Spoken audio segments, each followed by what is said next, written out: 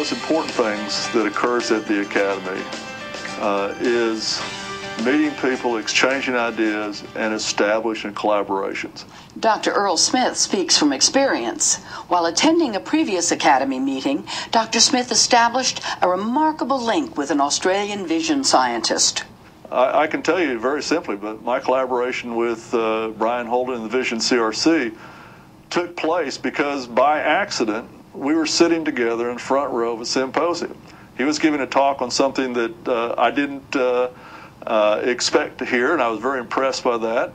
And uh, I was giving a talk that was of interest to him, and we just happened to be sitting together, and we started talking, and realized that we had a lot of interest in common, and that there was potentially very significant collaborations. We, I've been working with Brien Holden's group now. This is the eighth year, and uh, some of the, the, the most significant thing to come out of that is the development of of spectacle lenses and contact lenses that incorporate the ideas that we have about peripheral vision and how we can use peripheral vision to regulate eyeball growth.